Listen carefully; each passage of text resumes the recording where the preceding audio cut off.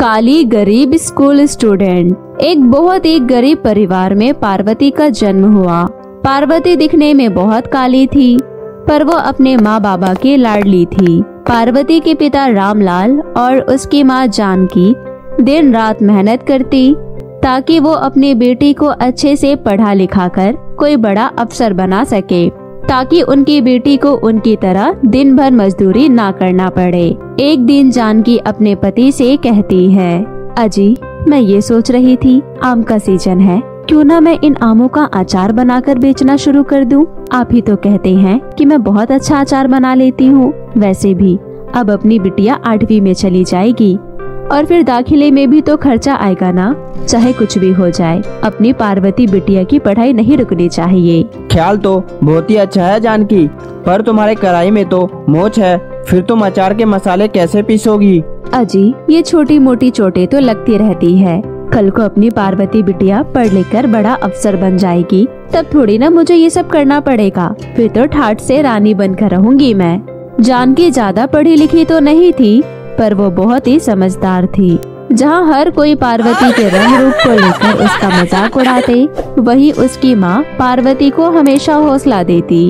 वो अच्छे से जानती थी कि एक दिन उसकी बेटी अपने रंग रूप से नहीं, बल्कि अपनी काबिलियत से अपनी पहचान बनाएगी और अपने गाँव का नाम रोशन करेगी। आज जो लोग उसका मज़ाक उड़ा रहे हैं, कल को उस पर गर्व करेंगे। इधर पार्वती स्कूल से झूमते हुए घर आ रही थी। तभी गाँव की सुलोचना काकी उसे खुशी से नाचते हुए देख लेती है और चिढ़कर बोलती है, अरे ओ काली, ये नाच गाना तेरे कोई काम नहीं आने वाला है। एक तो तेरी शक्ल डरावनी चुड़ैल जैसी है। ऊपर से पता नहीं तेरी माँ को क्या फितूर चढ़ा है। कि तुझे पढ़ा लिखा कर कलेक्टरी कराने की। और इधर बेटी को देखो कैसे नाच गाने में लगी है। और ये कोई टाइम है तेरे घर जाने का? शाम होने को है। कहीं तेरी माँ चोरी छुपे तुझे झाड़ू पोछा का काम तो नहीं करवाने लगी? नहीं नहीं काकी वो आज स्कूल में एक्स्ट्रा क्लासेस थी इसलिए देर हो गई। अरे तेरी माँ के अकल पे तो जैसी मिट्टी पड़ गई है। जो जवान बेटी को पूरे दिन घर से बाहर दूर धूप में लड़कों की तरह कपड़े पहनाकर पढ़ने के लिए भेजती है। अरे, क्या ही कर लेगी तू पढ़ लिख कर करना तो तुझे चोला चौका ही है। मेरी बेटी राधा को ही देख ले। घर का चोला चौका सब कर लेती है। तू तो समझदार है ना? मेरी माँ तो तू घर पर रहकर अपने चेहरे पर हल्दी और बेसन का लेप लगाया कर। शायद तेरा ये काला सा चेहरा थोड़ा साफ़ हो जाए और जल्दी से तेरे हाथ पीले हो जाए। इतना बोलकर काकी वहाँ से चली जाती है और पार्वती उदास मन से घर आ जाती है और अपनी माँ से बोलती है, माँ, तू हमेशा मुझे पढ़ने क्यों ही क्यों कहती है? तू मेरे गोरा होने के लिए भी कुछ नहीं करती। रोज स्कूल में सब मुझे काली माई काली माई कहकर चढ़ाते हैं। कोई मेरे डांस का मज़ाक उड़ाता है? तो कोई पढ़ाई का। आज पता है स्कूल में क्या हुआ? लो आ गई ये काली माई। मैंने पहले ही कहा था ये एक नंबर की डेट है डेट। क्या हुआ? तुम सब मुझे ऐसे क्यों देख रही हो? और ये सब क्या बोल रही हो? तुझे हर रोज हम सब इतना परेशान करती हैं।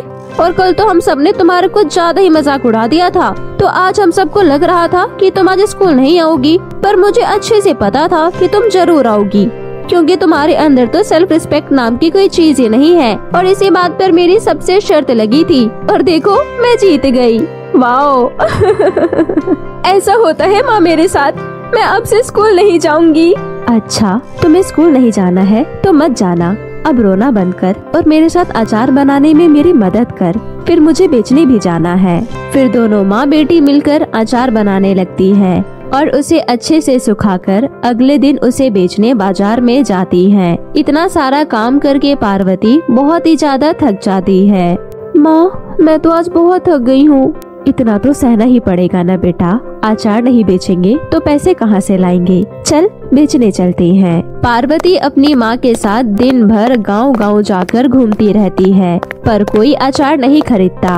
शाम को जब जानकी घर आ रही थी, तभी एक सेठानी अपनी बड़ी सी गाड़ी से जा रही होती है और जानकी को देखकर अपनी गाड़ी रोक लेती है। अरे ओ जानकी, कैसी हो? और ये अचार का बिज़नेस कब से स्टार्ट कर दिया तुमने? वैसे अचार मुझे भी बहुत पसंद है। चल, अब तू मिल ही गई है तो चल, मैं ही तेरी कमाई करा देती हूँ। चल, अब एक किलो अचार मुझे भी दे दे। सेठानी उसे अचार के पैसे देकर वहाँ से चली जाती है। ये सब देखकर पार्वती कहती है, माँ, तुम दिन भर कितनी मेहनत करती हो, और ये भी एक तुम्हारी तरह ही औरत है, पर कितने ठाठ है इसके। ये तो बहुत पैसे वाली है, और इसके पास तो बड़ी गाड़ी भी है। पर माँ, ये सेठानी आपको कैसे जानती है? क्योंकि ये इस गाँव की कलेक्टर साहिबा है, इसने इसके लिए कड़ी मेहनत से पढ़ाई की है।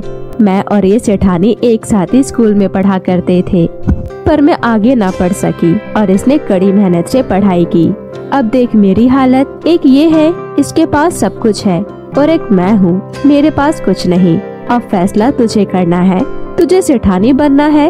या फिर अचार बेचने वाली जान की? तभी पार्वती की स्कूल की एक लड़की सोनाली छुपकर दोनों माँ बेटी की बातें सुन लेती है।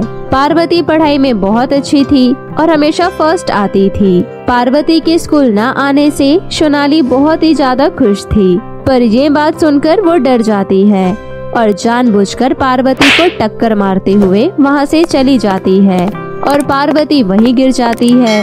जानकी पार्वती को लेकर घर आती है। और उसके हाथों की अच्छे से सिकाई करती है। बहुत गहरी मोचाई है। अब तो कुछ दिन घर पर ही आराम कर। नहीं माँ, ये छोटी मोटी रुकावटें तो रोज आएँगी वैसे भी अब मेरा एग्ज़ाम होने वाला है। मैं अब हर रोज स्कूल जाऊँगी और मन लगाकर पढ़ाई करूँगी। और पढ़ लिख कर मैं भी बड़ी अफसर बनूँगी। फिर अपने पास भी सब कुछ होगा माँ। पार्वती अगले दिन स्कूल जाती है और फ़र्स्ट बेंच पर जाकर बैठ जाती है। तभी क्लास में एक नई टीचर आती है और पार्वती को देखकर कहती है, इतने मैले फटे कपड़ों में? वो भी इतनी गंदी शक्ल के साथ? तुम किसे पूछ कर आगे बैठी हो? तुम्हें देखकर ही मेरा पढ़ाने का सारा मूड ही खराब हो गया। मनहूस कहीं की, जाओ और जाकर पीछे बैठो। पर टीचर, पीछे से मुझे कुछ सुनाई नहीं देता। आखिर मैं पीछे से कैसे पढ़ूँगी? वो सब मैं नहीं जानती। बस तुम अब से पीछे बैठने की आदत डाल लो। सोनाली अपने क्लास में सबसे सुंदर थी, उसे देखकर टीचर कहती है, सोनाली, तुम आगे आ जाओ बेटा, और अब से तुम हमेशा आगे ही बैठोगी, ठीक है? तभी क्लास में प्रिंसिपल मैम आती है और बोलती है, हमारा स्कूल एक बहुत बड़ी डांस कंपटीशन में हिस्सा लेने वाला है बच्चों। इसमें शहर के बहुत बड़े बड़े स्कूल के बच्चे भाग ले रहे हैं। पर मैं चाहती हूँ कि इस कंपटीशन में हमारा स्कूल ही जीते और जो बच्चा इस बार ये ट्रॉफी जीतेगा, उसकी पूरी पढ़ाई स्कूल फ्री में करवाएगा। ये कंपटीशन मुझे ही जीतना है, चाहे कुछ भी हो। हाँ मैम मैं मैं इस कंपटीशन में पार्टिसिपेट करना चाहती हूँ। मेरा नाम भी लिख लीजिए। तुम चुप करो, सोनाली हमारी क्लास से उस कंपटीशन के लिए जाएगी। और मुझे पूरा यकीन है, सोनाली ही ट्रॉफी जीतेगी। पर मैम आपको नहीं पता, मुझे डांस का बहुत ही ज़्यादा शौक है। मैम मेरा यकीन करिए, मैं अपने स्कूल के लिए मेडल लाऊँगी। Parvati get out of my class right now Parvati रोते रोते क्लास से बाहर आ जाती है। अपने माँ बाबा का बोझ हल्का करने का एक मौका मिला था, पर ये भी हाथ से चला गया। आखिर कब तक मेरी माँ मुझे यूँ अपना पेट काट काट कर पढ़ाती रहेगी? पार्वती रोते हुए वहाँ से घर चली जाती है और रोते रोते एक पेड़ के पास डांस करने लगती है। सब व्यर्थ है। आज मुझे पता चल गया। अगर रंग सुंदर ना हो तो कितना भी कुछ कर लो, कुछ नहीं होने वाला।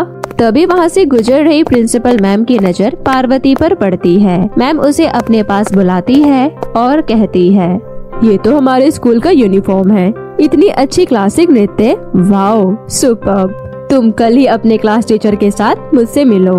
अगले दिन प्रिंसिपल मैम क्लास टीचर के साथ पार्वती को अपने कैबिन में बुलाती है। आपकी क्लास में इतनी होनहार बच्ची है, फिर भी आपने इसका नाम मुझे रेकमेंड नहीं किया। मैं जान सकती हूँ क्यों? क्या ये वो? आपको जब बच्चों की परख ही नहीं है तो ये क्या कर रही हैं आप इस स्कूल में? हमारे स्कूल को आप जैसे टीचरों की कोई आवश्यकता नहीं है। नहीं नहीं मैम ऐसा मत कहिए। वो क्या है ना कि मैम मेरा नाम आपको देना चाहती थी, पर दो दिन पहले ही मेरे हाथों में मोच आ गई थी, जिस वजह से उन्होंने मेरा नाम आपको रिकमेंड नहीं किया। मोच में भी तुम इतना अच्छा डांस कर लेती हूँ। अमेजिंग अब मुझे पक्का यकीन हो गया है कि ट्रॉफी तुम ही जीतोगी। ऑफ़िस से बाहर आकर नई टीचर पार्वती से कहती है आई एम सॉरी बेटा, तुमने मेरी जॉब बचा ली। मैंने तुम्हारे साथ कितना गलत किया, फिर भी तुमने मेरी मदद की। तुम वाकई बहुत ही अच्छी हो। और हाँ आज एक बात मेरी समझ में आ गई। सुंदरता रंग रूप से नहीं, बल्कि दिल से होता है। अब देखना, मैं कैसे तुम्हें इस कंपटीशन में जाने के लिए तैयार करती हूँ। ये ट्रॉफी तो तुम ही जीतोगी। उस दिन से टीचर पार्वती की बहुत मदद करती है। वो उसके डांस के प्रैक्टिस में उसकी हेल्प करती है। कुछ ही दिनों में कंपटीशन वाला दिन आ जाता है। पार्वती उसमें भाग लेती है और जीत कर ट्रॉफी अपने नाम करती है। उस दिन से पार्वती की ज़िंदगी ही बदल जाती है। पार्वती के स्कूल की फ़ीस माफ़ हो जाती है। और स्कूल में जो बच्चे पार्वती के काले रंग का मज़ाक उड़ाते थे, अब उन सबको शर्मिंदगी से सिर नीचा हो जाता है। पार्वती पढ़ लिख कर एक बहुत बड़ी अफसर बनती है। और आगे चलकर अपने गाँव के विकास में बहुत अच्छे अच्छे काम करती है। अब तो हर तरफ़ पार्वती की तारीफ़ ही तारीफ़ होने लगती है। बहुत समय पहले की बात है। बिहार राज्य के एक छोटे से गाँव में एंजल नाम की बहुत सुंदर लड़की रहती थी। वो बहुत ही दयालु तथा विनम्र स्वभाव की थी।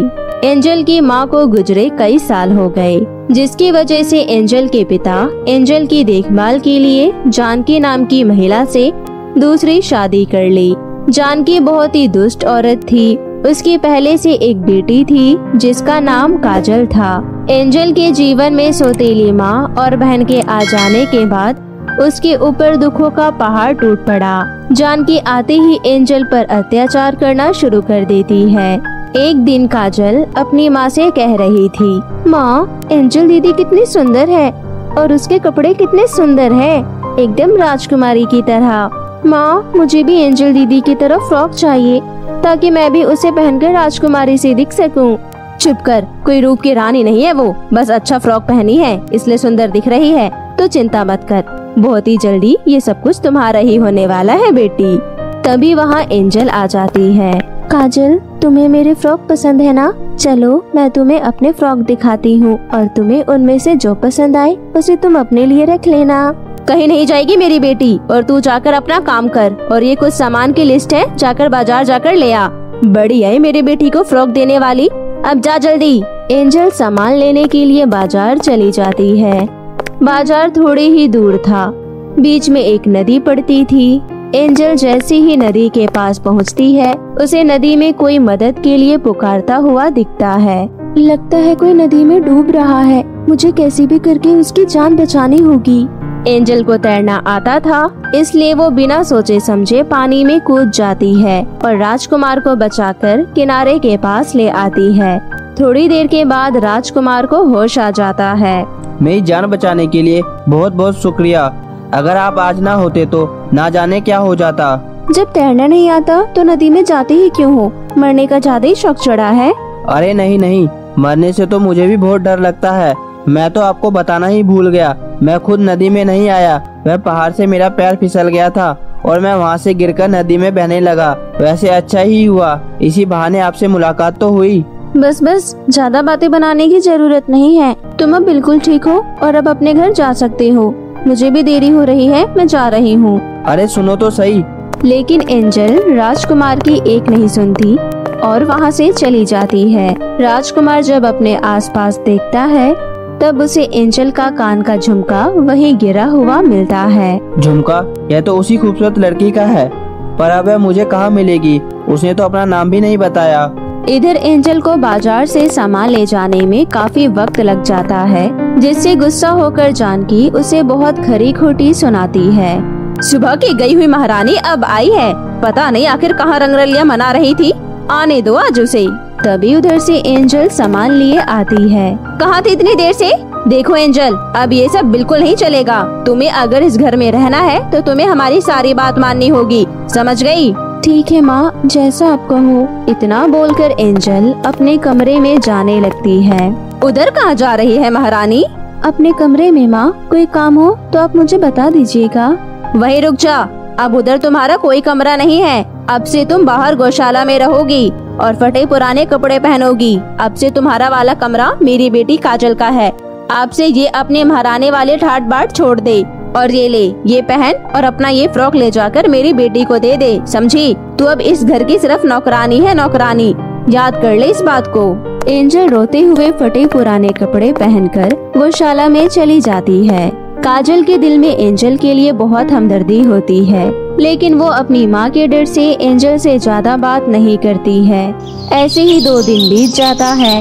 एक दिन रात में काजल चुपके से एंजल के पास जाती है। दीदी ये लो खाना। माँ भी सो रही है। आप जल्दी से ये खाना खा लो। मुझे अभी भूख नहीं है काजल। तुम ये ले जाओ। मैं जानती हूँ दीदी आपने दो दिनों से कुछ नहीं खाया। प्लीज़ मेरे लिए खा लो। और किसी भी चीज़ की ज़रूरत हो तो मुझे ज़रूर बताना। ऐसी कोई बात नहीं है, काजल। मैं यहाँ खुश हूँ। इन सब गायों को देखो। ये सब मेरा बहुत ख्याल रखती है। और ये सब मेरे साथ कितने खुश है। अब तुम जाओ, मैं ठीक हूँ। ठीक है, दीदी। अपना ख्याल रखना। उसी रात एंजल रोते हुए माँ को बहुत याद करती है। माँ, आप मुझे छोड़कर क्यों चले गए मुझे आपकी बहुत याद आ रही है, माँ। एंजल रो ही रही थी, तभी वहाँ एक लाल परी आती है और बोलती है, एंजल बेटी, तुम क्यों रो रही हो? तब एंजल अपनी सारी बातें उस लाल परी को बताती है, एंजल, तुम चिंता मत करो, बहुत जल्दी एक राजकुमार तुम्हें यहाँ से ले जाएगा और तुम्हारी सारी मुश्किलें बहुत ही जल्दी दूर हो जाएगी। मेरा आशीर्वाद सदैव तुम्हारे साथ है, हमेशा खुश रहना। इतना बोलकर वो परी वहाँ से चली जाती है। इधर राजकुमार अपने राज्य में आ जाता है लेकिन वो एंजल को नहीं भूल पाता। उनके आँखों के सामने बार बार एंजल का ही चेहरा आ रहा था। उन्होंने एंजल को ढूँढने की बहुत कोशिश की लेकिन उन्हें एंजल कहीं नहीं मिली। ओ प्यारी लड़की कहाँ हो तुम? आखिर मैं तुम्हें कहाँ ढूंढूं? तभी राजकुमार के दिमाग में एक आइडिया आता है और वो अपनी माँ से कहता है। माँ, दो दिन बाद मेरा पच्चीसवा जन्मदिन है। मैं चाहता हूँ मेरा जन्मदिन समारोह बहुत ही अच्छे तरीके से मनाया जाए और उसमें गाँव के सभी लड़कियों को बुलाया जाए। पर अभी इतना बड़ा समारोह करने की आवश्यकता क्या है राजकुमार? फिर राजकुमार अपनी माँ को सारी बात बताता है। अच्छा मेरे बेटे को कोई लड़की पसंद आ गई है और उसे उसका नाम नहीं पता, इसलिए तुम सारी लड़कियों को समारोह में बुलाना चाहते हो। ठीक है तुम्हारी पसंद ही हमारी पसंद है। माँ आप कितनी प्यारी हो। मेरे बिना कहे ही सब कुछ समझ जाती हो। माँ वह झुमके वाली लड़की तो आएगी ना? ज़रूर आएगी बेटे। और फिर महारानी अपने सिपाही से बोलकर पूरे गाँव में घोषणा करवा देती है। सुनो सुनो सुनो। सभी गाँव वासियों ध्यान से सुनो। कल गाँव के सभी लड़कियों को शाही महल में राजकुमार के पच्चीसवे जन्मदिन में आमंत्रित किया जाता है जिसमें सभी युवा लड़कियों को आना अनिवार्य है। सभी लोग ज़रूर आए। माँ, आपको पता है, शाही महल में समारोह का आयोजन हुआ है और महारानी ने सभी लड़कियों को महल में बुलाया है। ज़रूर, महारानी राजकुमार के लिए राजकुमारी ढूंढ रही है। तू चिंता मत कर बेटी, उस समारोह में सबसे ज़्यादा तू ही चमकेगी और राजकुमार तुझे ही पसंद करेंगे। एंजल भी वहीं खड़ी उनकी बातें सुन रही थी। माँ, क्या मैं भी इस समारोह में आपके साथ चल सकती हूँ? माँ मैं बहुत दिनों से घर से बाहर नहीं गई। कृपया मुझे भी अपने साथ ले चलो। हालत देखिए अपनी। कैसी भिखारी की तरह लग रही है। तुम्हें अपने साथ ले जाकर अपनी बेइज्जती थोड़ी ना करवानी है। और वैसे भी राजकुमार को अपनी राजकुमारी चाहिए। कोई नौकरानी नहीं समझी? माँ प्लीज़ दीदी को भी ले चलो ना। चुप कर। पता नहीं क्या पट्टी पड़ा दिया इस कलमुही ने तुझे। और तू कलमुही जा और जाकर अपना काम कर। काजल बेटा आ। मैं तेरे चेहरे पर हल्दी का ये अपटन लगा दूँ। शाही महल में जाने के लिए काजल बहुत अच्छे से तैयार होती है और उस दिन एंजल वाला ही सुंदर फ्रॉक पहनती है, जिस फ्रॉक में राजकुमार ने एंजल को पहली बार देखा था। माँ, देखो तो मैं कैसी लग रही हूँ? बिल्कुल राजकुमारी की तरह लग रही है मेरी बेटी। तुम्हें किसी की नज़र ना लगे। देखना, राजकुमार तुम्हें ही पसंद करेंगे। मैं भी यही चाहती हूँ, माँ। अब जल्दी चलो माँ, वरना देर हो जाएगी। वे लोग एंजल को घर में अकेला छोड़कर समारोह के लिए निकल जाते हैं। राजकुमार नजरे गड़ाए दरवाजे की तरफ़ देखता रहता है कि आखिर कब वो झुमके वाली लड़की उसे दिखे। लेकिन राजकुमार को निराशा ही हाथ लगती है। उदास मन से राजकुमार केक काटने वाला था, तभी उसकी नज़र काजल पर पड़ी। यह फ्रॉक तो उसी झुमके वाली लड़की का है, लेकिन यह लड़की तो कोई और है। झुमके वाली लड़की आखिर क्यों नहीं आई? राजकुमार काजल की ओर बढ़ता है। माँ देखो राजकुमार मेरी तरफ़ ही आ रहे हैं। लगता है उन्हें मैं पसंद आ गई हूँ। क्या यह फ्रॉक आपका है? हाँ ये मेरा ही फ्रॉक है। भला ऐसा सवाल कौन पूछता है? माफ़ करना दरअसल मैं एक झुमके वाली लड़की की तलाश कर रहा हूँ। यह देखिए क्या यह झुमका आपका है? ये झुमका तो जाना पहचाना लग रहा है। शायद ये झुमके मेरी बहन। अरे हाँ हाँ राजकुमार ये झुमके मेरी ही बेटी का है। नहीं राजकुमार मेरी माँ झूठ बोल रही है। ये झुमका मेरी बहन एंजल का है और ये फ्रॉक भी उसी का है। क्या? फिर आप लोगों ने मुझे झूठ क्यों कहा? और कहा है आपकी बहन? वह इस सभा में क्यों नहीं आई? कृपया मुझे आप उस लड़की के पास ले चलिए। फिर राजकुमार काजल के साथ गौशाला में आते हैं। मुझे माफ़ कर दो मेरी बहन। अपने अहंकार में मैंने और मेरी माँ ने तुम्हारे साथ बहुत बुरा किया है। राजकुमार आपसे बहुत प्रेम करते हैं एंजल दीदी।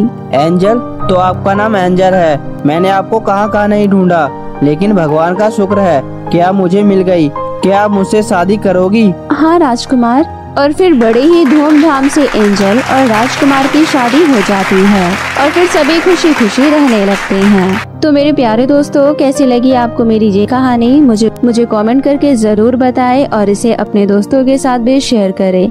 और हाँ दोस्तों, अगर आपने अब तक मेरे चैनल को सब्सक्राइब नहीं किया है तो जल्दी से नीचे लाल बटन दबाकर अभी कर ले। तो मिलती हूँ आपसे फिर किसी नई कहानी के साथ। तब तक के लिए आप अपना ध्यान रखें। बाय बाय दोस्तों।